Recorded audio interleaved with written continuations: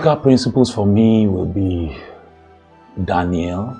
If we study the life of Daniel, we'll find out um, principles we can learn from there. Joseph, um, Dinah. These three lives uh, portray to us the, both the consequences of making choices and why it is important for you to be able to make the right choice. In Daniel's case, for instance, he was in a hostile environment and he determined, him and his guys, they determined Yeah. that even though we are not in a comfortable setting, we are slaves here, but we will not allow that influence our choice. Joseph, the same thing, he was a slave. He could have gotten away with sleeping with his boss's wife, but he determined. What was the principle you learned there? Remember that God is your first audience. Yeah. He said, How can I do this evil thing and sin against God? It was not about his mother, it was not about his father, it was not even about Potiphar in the long run. It was first about God. In Dinah's case, the Bible says she made up her mind that she wanted to go and see the daughters of the land. She left the safe place that her parents had created and was yearning for something that we could call forbidden.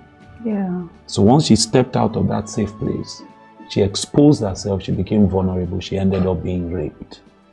So if we look at these three lives, we see the principle of prioritizing God, Yeah. remembering that even though you have teachers, you have mentors, you are answerable to God in Yeah. life and in death.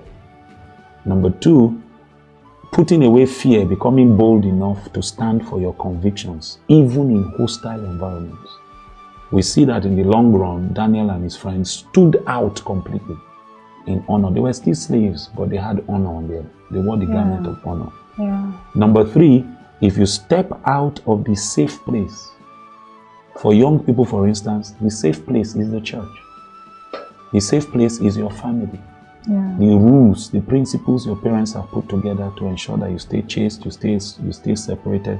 Once you step step out, you become vulnerable, and you're coming back. You may never return the same. Yeah. True. And Jane, you know that there are some consequences that are Yeah. irreversible. Irreversible. I yes, once you've you. once you've gone that route, you can't come back. Yeah. You even when you come back, you are not coming back. And no matter how much you wish you can come back, you, you can't can't come back. Yes, that's it.